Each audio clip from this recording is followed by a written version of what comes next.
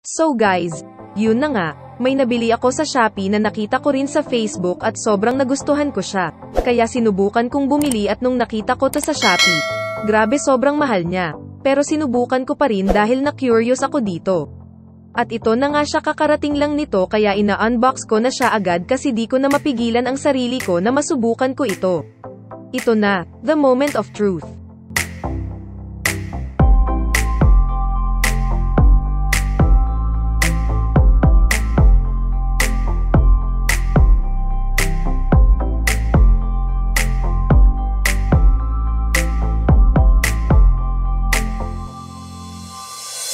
Grabe, ang ganda niya. Feel ko na talaga na magkakaipon na ako nito dahil dito. Para lang siyang laruan pero napakaganda nito.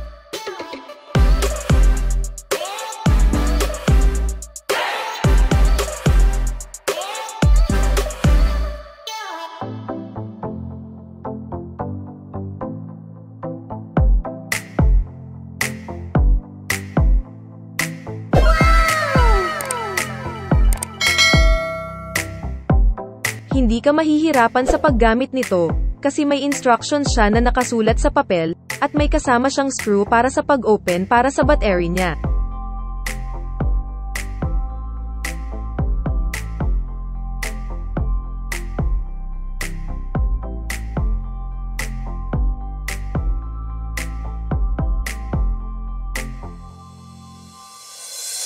Sabi sa papel, enter the 4-digit code. The green light switches on. Ito na.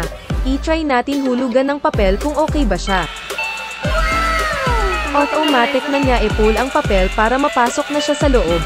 Para nga siyang totoong machine, di ka na mahihirapan sa paghulog dito.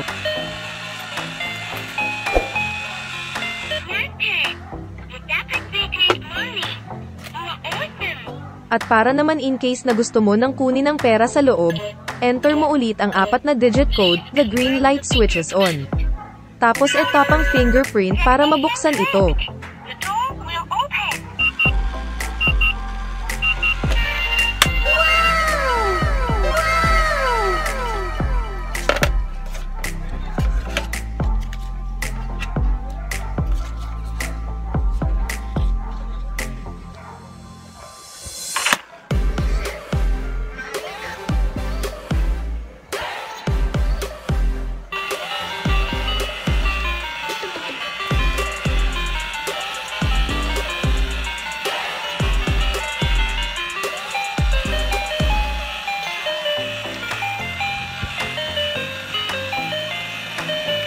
Try din natin hulugan ng totoong pera, kung talagang safe ba siya gamitin.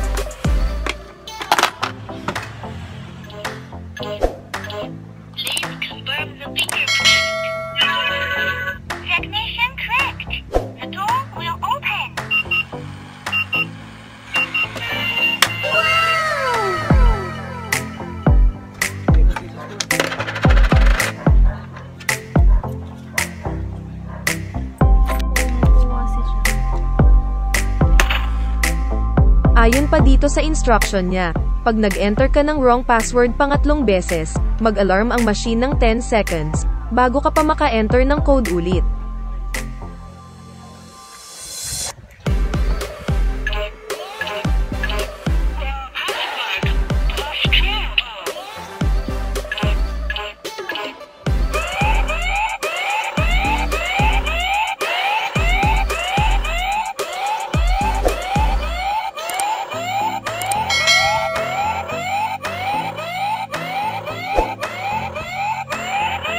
Ang ganda 'di ba? Perfect din ito para sa mga bata nyo para ma-inspire din silang mag-ipon.